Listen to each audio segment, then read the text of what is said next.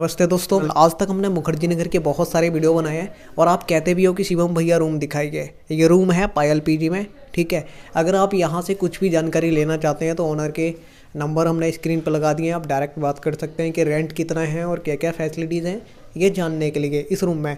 लेकिन ये रूम है दोस्तों शेयरिंग रूम है ठीक है? और इधर आप देखेंगे तो जो स्टूडेंट रहते हैं अभी उन्होंने यहाँ पे अपना मैप वगैरह लगाया हुआ है और यहाँ पे उनकी अच्छी तरीके से स्टडी टेबल रखी हुई है।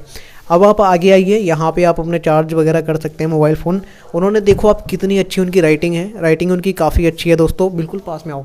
बिल्कुल। दोस्तों राइटिंग आप देखेंगे तो उनकी कितनी अच्छी राइटिंग है और उन्होंने यहाँ पे पूरी दीवार पे कुछ नोट्स वगैरह बना के यहाँ पे लगाए हुए हैं। तो आप देख सकते हैं रूम कितना अच्छा है, ठीक है? और सबसे बड़ी चीज़ इसमें यह है कि इसमें जो है ना अटैच वॉशरूम है। बहुत सारे स्टूडेंट ये कहते हैं कि शिवम भैया अटैच वॉशरूम वगैरह है तो वो दिखाइए। तो वो मैं आपको दिखा देता हूँ। बहुत सारे स्टूडेंट कहते हैं, इसलिए आप देख सकते हैं। ये रूम में ही है अटैच और काफ़ी साफ़ सुथरा अच्छा है, कोई दिक्कत नहीं है, ठीक है?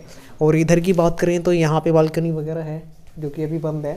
और यहाँ आप देखेंगे तो यहाँ पे भी उन्होंने जो सारणी है, मैंडलीप की आवर्त सारणी, जिसे आप पीरियडिक टेबल कहते हैं, वो लगाई हुई है। और यहाँ पे भी उनकी टेबल और चेयर और एक ये टेबल और ये बेड, ठीक है? ये शेयरिंग बेड है।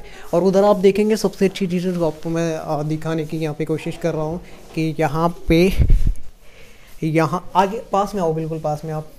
यहाँ आप देखेंगे आप देखेंगे तो ये है अलमीरा जिसमें आप अपना सामान वगैरह रख सकते हैं, ठीक है?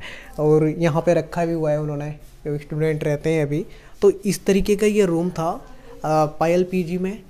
अगर आपको नीड है या फिर आप इसमें रहना चाहते हैं और ऊपर की बात करें तो एक फ़ैन लगा हुआ है लाइट वाइट सब कुछ ओके है। और आप कुछ भी जानना चाहते हैं रेंट के बारे में या फैसिलिटीज़ के बारे में तो जो नंबर दिए गए हैं, आप उन पर कॉल कर सकते हैं। आज की वीडियो में इतना ही। जय हिंद, वंदे मातरम।